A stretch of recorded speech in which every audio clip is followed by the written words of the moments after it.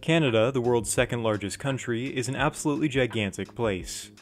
Laterally, it spans 5,514 kilometers in width, 1,200 kilometers more than the nation's boisterous southern neighbor. To complement this size, Canada is home to the seventh largest road network in the world, with a total size of 1,042,300 kilometers.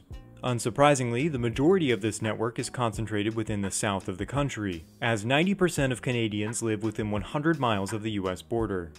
On Canadian roads, you will almost exclusively see standard cab trucks with their iconic protruding noses, a majority of which come from US brands.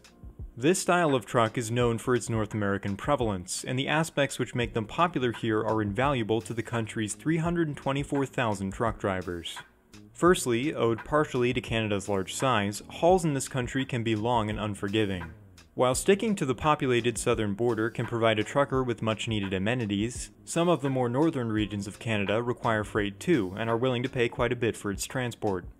The most northern region accessible by road, omitting ice roads, is the small settlement of Tuktoyaktuk in the Northwest Territories, a destination that would take 46 hours and a small ferry ride to reach from the city of Vancouver.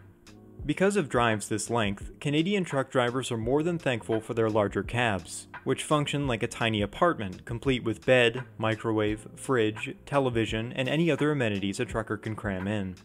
To compare this lifestyle to European truckers, for example, I've seen the quote, North American trucking is a lifestyle, European trucking is a job. Truck stops are also big in Canada, both physically and culturally, but really only in the south, where they can be found along some stretches of highway. Like the US, these are places for truckers to spend the night, assuming they can find a spot that is. Outside of the more populated areas, highways themselves are actually quite rare, and a lot of trucking is done on simple two-lane roads, especially in the west and the north. A significant proportion of Canadian truck driving is international as well, with 70% of all freight either coming from or headed into the United States. Each Canadian province and territory has slightly different rules when it comes to weight limits, length requirements, and allowed combinations, but generally the average Canadian semi-truck will be 22 to 23 meters long, usually a 16.2 meter trailer and a 6.2 meter tractor. In the province of Ontario, all trucks produced after 1995 have been outfitted with a speed limiter at 105 km per hour, and even those which originate from other provinces must comply with this ruling if they wish to drive on Ontario's roads. As such, truck speed limiters are quite common across the country, and with a maximum national speed limit of 110 km an hour for trucks, they don't seem to get in the way much, especially considering that many provinces have set lower speed limits anyway.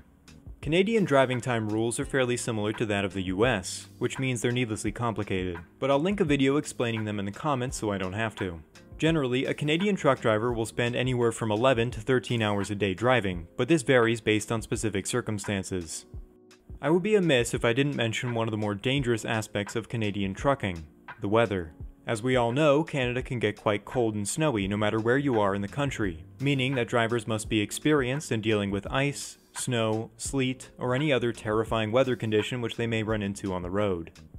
Canadian trucking has been in the news sporadically over the course of the last few years, mostly due to the truckers' protests, also known as the Freedom Convoy, which captured international attention during the pandemic.